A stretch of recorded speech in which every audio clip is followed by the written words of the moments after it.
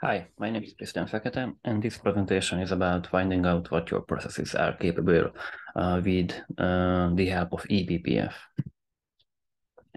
On this slide, you can see an agenda. Basically, at the first, we will cover what is eBPF. Then we will take a look at capabilities. And at the end, we will see how you can integrate these uh, into a proper, proper monitoring tool to get uh, some insights into your actual processes. As I mentioned, I'm Krisztian Fekete. I'm working as a field engineer at Solo.io. Um, previously, I was uh, working at an infrastructure SRE DevOps engineer uh, here at Solo. I really like to help companies to um, design um, service mesh solutions and um, solve their infrastructure uh, challenges. And I also really like to work with eBPF. Um, a few words uh, of Solo. Basically, we like to think about Solo as the next step in the cloud um, journey. As you can see, we are well funded. We have tons of uh, satisfied customers, and we are using these leading uh, open source technologies to provide a really nice to use um, and scalable and secure um, platform to solve application networking challenges. So let's start with eBPF. What is eBPF? eBPF is basically a way to inject custom logic into the kernel, and with eBPF you can do it as a safe, fast, and flexible uh, manner. Um, the origins of eBPF can be dated back to the days of uh, TCP dump. If you are uh, in the game for long enough, you are most probably already use TCP dump to troubleshoot certain network-related um, issues. There are multiple eBPF use cases. Um, such as security, tracing, profiling, networking, and observability. In this talk, we will mm, talk about uh, security and observability use cases, but all the other use cases are also quite interesting. Uh, but I think observability uh, is basically where eBPF can really shine. So it's quite natural to um, to uh, cover this use case regarding security, for example. On this slide, you can see my favorite uh, diagram related to eBPF itself. Um, basically, if you have an eBPF program, you have to have a user space and a kernel space program. The user space is what will handle the lifecycle of the eBPF code that will be injected into your kernel. And uh, this is where you mm, can basically interact with the problem. This is where this is what we, this is uh, the um, program that will display all the information that it's uh, that it interacts uh, extracts from the kernel itself. On the right hand side, you can see uh, the kernel box. Here you have a verifier step, and that's quite important because, as I mentioned, the eBPF enables you to inject custom logic into the kernel safely. So uh, with the help of a verifier, it's it's quite hard to to crash an actual kernel with uh, with these little experimental code snippets. So that's the first step when the uh, actual code is loaded into the kernel. Then we have the actual uh, BPF logic. It's an event-based logic. So every time a certain kernel event happens um, that can be related to kernel probes, user probes, kprobes, uprobes, trace point, or uh, certain other events, uh, these can uh, trigger your actual logic, uh, kernel space logic that you injected into the kernel. Then to be able to exchange the data between user space and kernel space, uh, we have the maps. Uh, these are um, data structures to provide uh, this uh, exchange between the two sites. Okay, so now that we know that what eBPF is, uh, what are capabilities, you can see the official man page for capabilities here, but uh, I really like to have to show you a simplified version of, of this. So uh, let's think of capabilities like this. Uh, these are basically aim to add superhuman capabilities to programs, but without the need of using root user because you cannot root. Hopefully, you, you are not using root user for everything. I like to focus on these uh, words that are underlined here.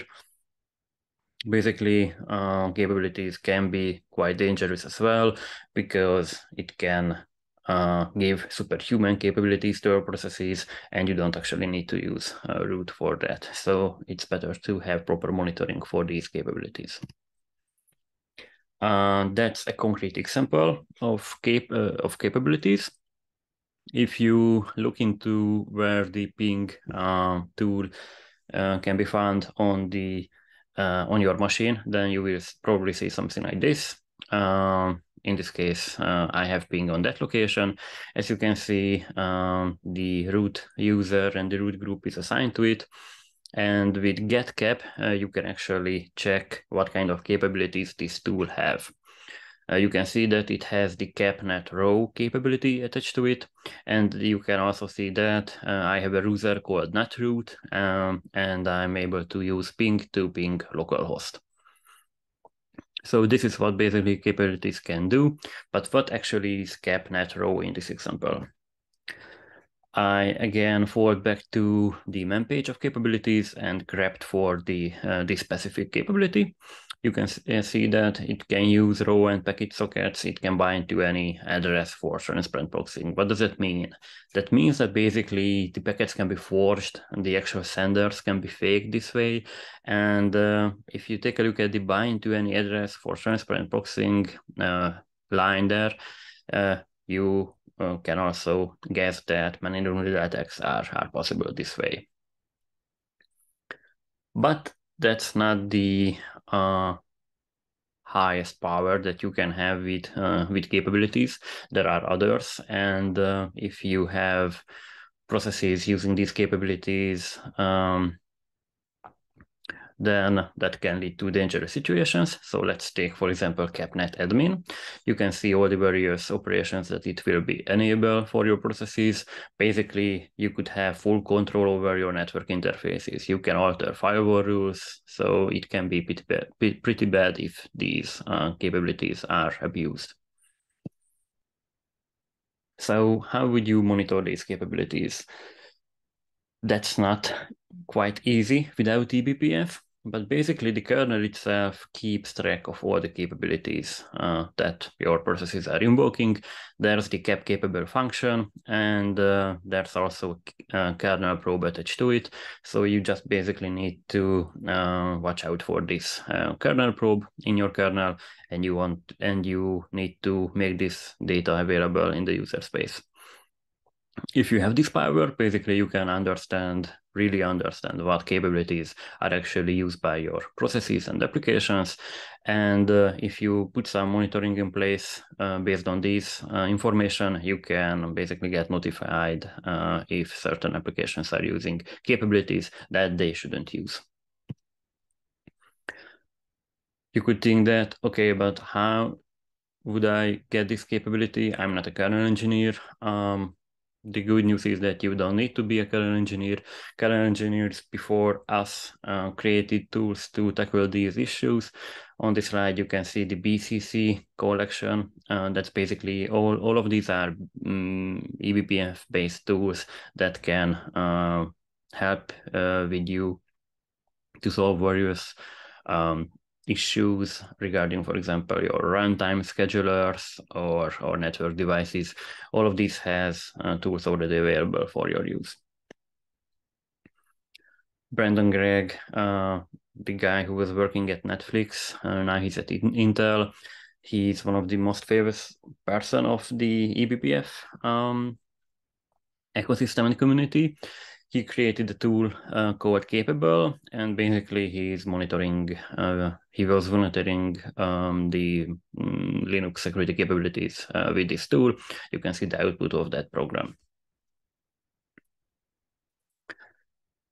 To uh, sort of modernize this application and to uh, make it uh, cloud native, we can use Bumblebee, which is an open source project by solo.io. Basically, with this, you can build, publish, and run um, eBPF based uh, tools, and it can also turn into these tools, these events uh, to Prometheus metrics.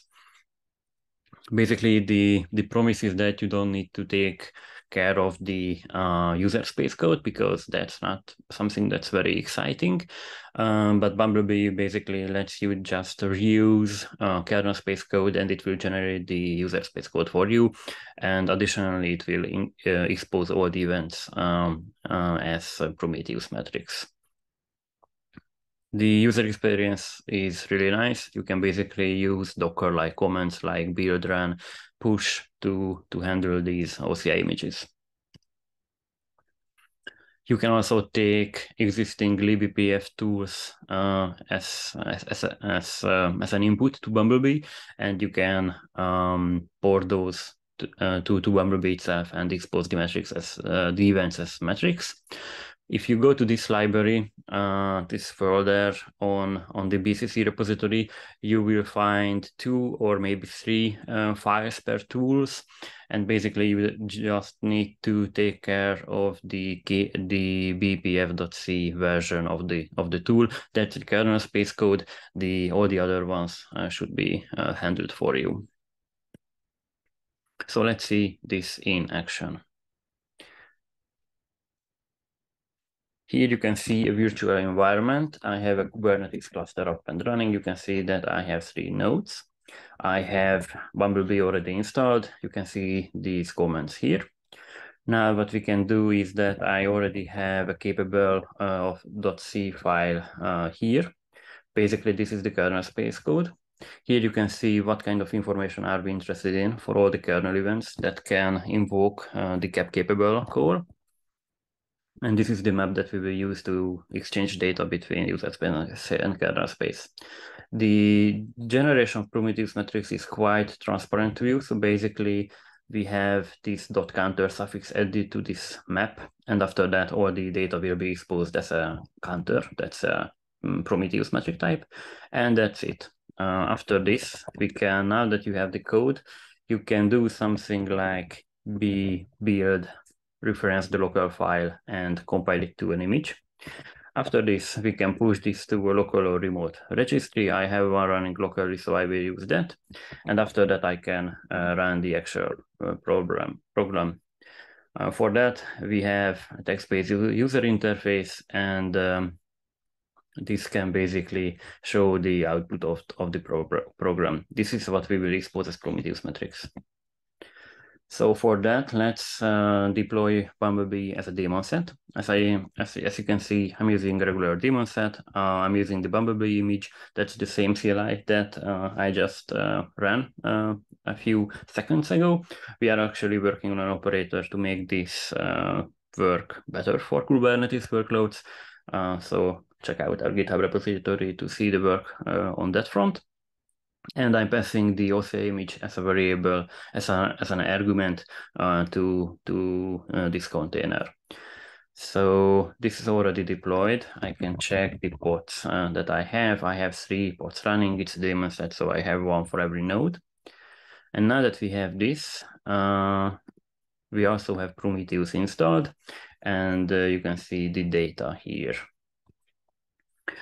Basically, you can see that um, we have all the capabilities listed here.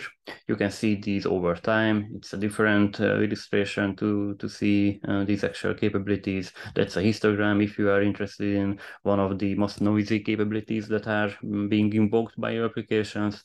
And here we are filtering for um, tasks that are actually using this. So let's say, for example, you are interested in uh, um, number 12 CAP_NET_ADMIN. You can also use the selector filter for CAP_NET_ADMIN, and you would see that uh, these applications, these processes are using these capabilities. You can see that one of them is uh, more frequent than, than other. So it's a quite nice way to, to monitor all your um, uh, capabilities that are being used, and you can set up alerting based on this because that's basically just regular Prometheus metrics. You can see the roadmap here. Basically, these are uh, the tasks that we have on our roadmap. We want to have tighter Kubernetes integration, new metrics types, uh, log support. So keep uh, this project in mind and uh, feel free to experiment with it uh, on our GitHub repo. You can also visit academy.solo.io where we have free open source, free workshops on all these open source technologies. For example, eBPF, you can find out more information about ambient mesh, which is also quite um, interesting and exciting.